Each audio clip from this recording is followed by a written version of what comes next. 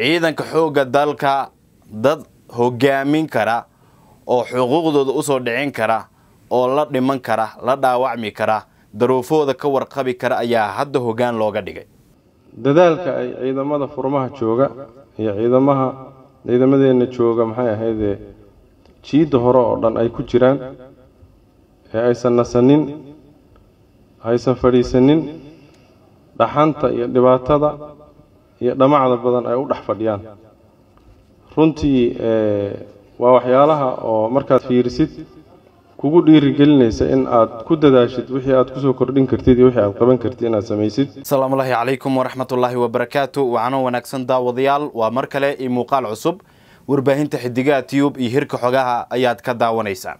Ciidanka xoogga dalka farxaddii ugu weyneyd ayaa mar kale dhegahooda ay maqlayaan ciidanka xoogga dalka dad hogaamin kara oo xuquuqdooda u soo dhicin kara oo la dhiman kara la dhaawacmi kara daruufahooda ka warqabi kara ayaa hadda hoggaan looga dhigay. Ciidankan intooda badan waxaa la dhisay xilligii farmaajo uu joogay. Madaxweyne xasan sheekh maxamuud markii uu yimaaday ciidan kale ayuu ku sii daray laakiin daruufo adag ayay wajahayeen. Dib u magacaabista jenaraal odawaa yuusuf raage qof kastoo soomaali ah wuu soo dhoweeyey sababtuna waxay tahay in jenaraal odawaa la og yahay ciidanka iyo sida ay u jecel yihiin sida uu u daryeelo sida uu ugu dhex jiro iyo khibradda uu soo bartay oo ciidannimo ah. Taliyaha hadda sii banaynaya xafiiska jenaraal ibraahim sheekh muxyidiin dad badana dhaliilaya oo leh ninkan aqoon ciidan ma laha ee meesha qabiil ayuu ku yimid. Waxaana lagu sheegay inuu yahay ganacsade aanba awood u lahayn xitaa inuu furmaha joogo oo uu dagaalamo inkastoo dadka qaar ay leeyihiin waa nin ciidan ah laakiin ciidannimada muddo ka hor ay ugu dambeysay oo ganacsado uu iska noqday burburkii kadib jenaraal odawaa yuusuf raage magacaabistiisa waxaa ka horeysay magacaabista taliyaha ciidanka dhulka oo lagu magacaabo jenaraal khaalid sheekh cabdulaahi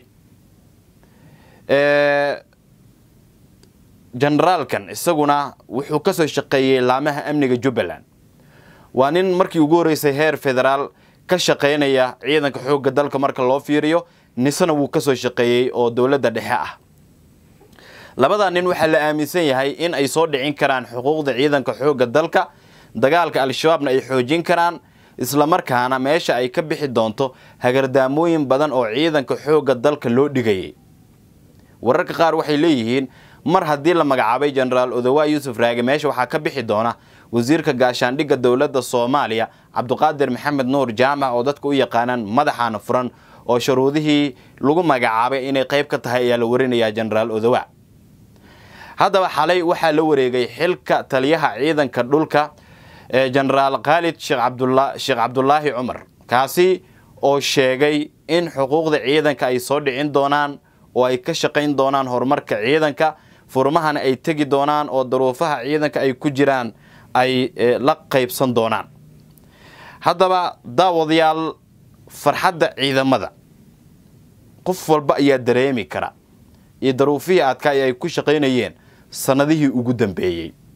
Ma aha hal guuto dhammaan ciidanka xoogga dalka ayaan ka hadlayaa.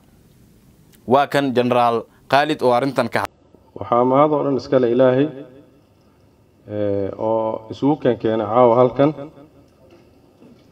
Innagoo u joogna xafladdan aadka u qurux badan. Ee ay noo soo agaasimeen taliska ciidanka dhulka. Runtii oo ay muuqato diyaargarowga iyo wanaagga iyo sida loo soo habeeyey. Aana uga mahad celinayna dhammaan. Intii ka qayb intii ka qayb gashay ama ku yeelatay contribution hawshan inay qabsoonto. Waxaa sidoo kale u mahad celinaynaa oon iyagana halka ka salaamay oon dhaafay kooxda horseed ee ciidanka xoogga dalka soomaaliyeed oo ah koox runtii mar walba anugu ciidanka xoogga dalka soomaaliyeed kuma jiri jirin laakiin kooxdaas waa koox lala socdo oo ummadda soomaaliyeed oo dhan ay la socdaan meel walba ay joogaan dhiirigelintooda iyo sida ay dadka u baraarujiyaan. Markii aad dhegaysatid heesahooda iyo sida ay u hadlayaan waxaa ku qaban markaas inaad si hor le aad tuutaha u qaadatid sidaydoo kale hadda aan u soo qaatay waa u mahad celinayaa waxaan halkan uga mahad celinayaa madaxweynaha jamhuuriyadda federaalk soomaaliya doctor xasan sheekh maxamuud oo runtii igu aaminay iina gartay inaan hogaamiyo ciidanka xoogga ee ciidanka lugta ee soomaaliyeed. Iyadoon ognahay culayska ay leedahay hogaaminta ciidankaas iyo in ciidanka xilligan xaaliga ee lagu jira ad ogtihiin sida aan ku jirno waddankeenna hogaamintiisu ay tahay. Laakiin rag baa u nahay insha allah. Waana dadaali doonaa maalmahan intii aan ku jiray sugayey arrintan xafladdan inay imaato oo xilwareejinta aan soo gaadhno. Runtii waxaan arkayay saraakiil badan iyo rag badan oo ciidanka xoogga dalka soomaaliyeed ah. Maalmihii hore xoogay waxaan islahaa waxaa la yidhi niman baa waxay ku heshiyeen inay libaax isagoo socdo ay qabtaan. Marka nin walba markii hore loo socday waxaa la yidhi nin walba adu halkeed qabanaysa adu halkee oo iska fuuday sheekadu. Marka nin baa wuxuu yidhi anu waxaan qaban doonaa dhegta. Nin lugtuu qaatay nin meel kale nin jeeniga. Ninkii marka dhegta qabsaday oo dhegta qaatay yaa markii uu libaaxii lagu soo baxay oo libaaxii uu af kala qaaday oo miciyihii iyo wixii isa saarnaa uu arkay yuu dib u istaagay warbalukaadii oo. Nimanyo wuxuu yidhi rag waxay isku ogyihiin waa arrin adagoo lagama bixi karo. Libaaxa dhegtiisiiyo afkiisuna aada bay isugu dhow yihiin.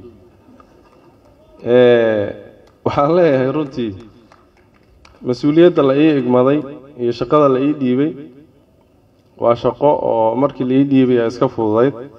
Laakiin markaan gudaha u galay aan arkay sida ay xaalkeedu tahay waxaan is leeyahay libaaxa afkiisa iyo dhegtiisu isku dhowaa laakiin ballanka raggu galaa ka weyn. Ballanka raggu galo yaa ka weyn wax walba.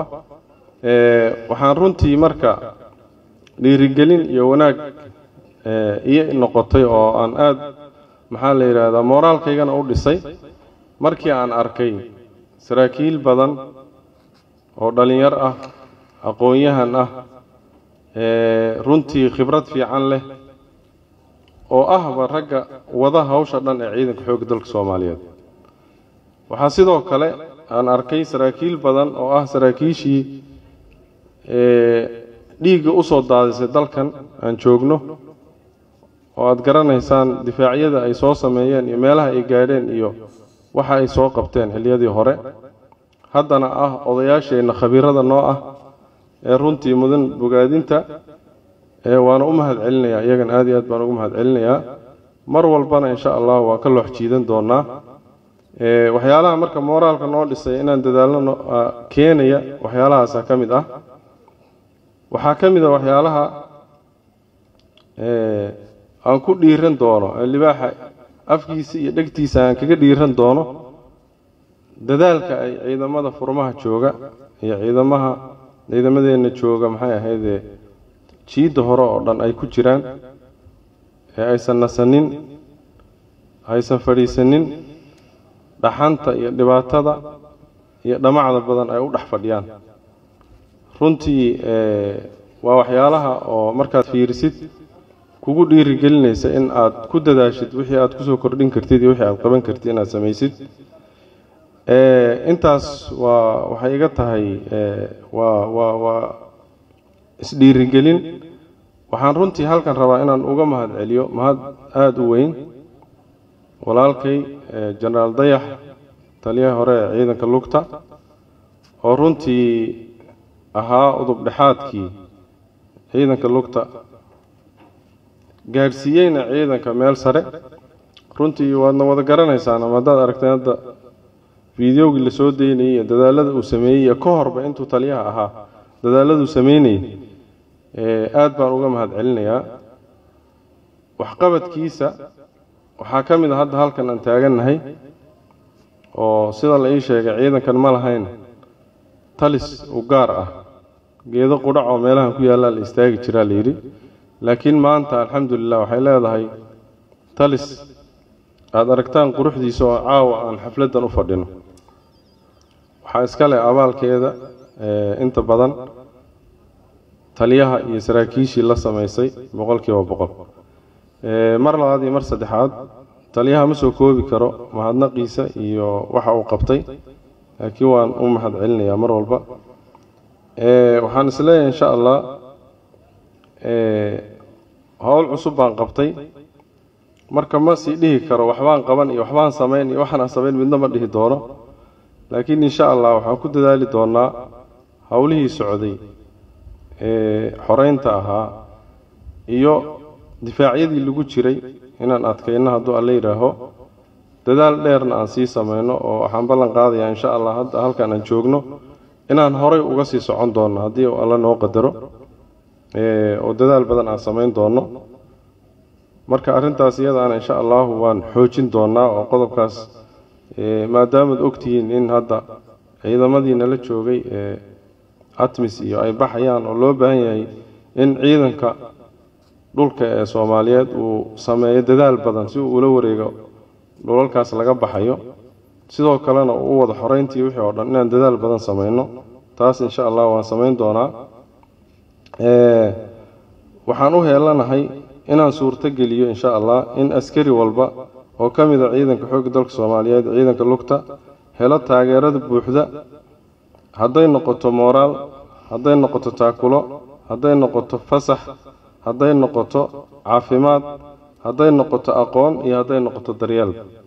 Intaasba insha allah waxaan is leeyahay inaan wax ka soo kordhiyo anigoo xiriirkayga iyo la joogayga iyo hawshaydu ay u badnaan doonto inaan insha allah inta badan la qaato daljirayaasha dhaxanta iyo dhamacda ku dhex jira hadduu alla idmo taas waan ballan qaadayaa.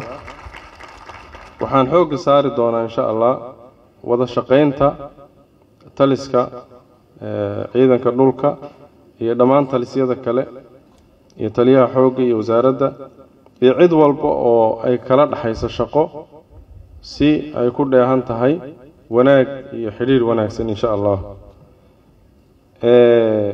Waayo gacmahooda jir bay wax ku qabtaan waxaa loo baahan yahay in la isla socdo. Waxaan xoogga saari doonaa dhisidda ciidan garasho sare leh ee tayo sare leh ee qalab casri ah insha allahu haysta. Anshax suuban leh hadduu alla idmo. Waa anshax suuban yihiin haddana la sii wanaajiyo mar walba dadaalkaasna hadduu alla yidhaaho. Waan samayn doonaa.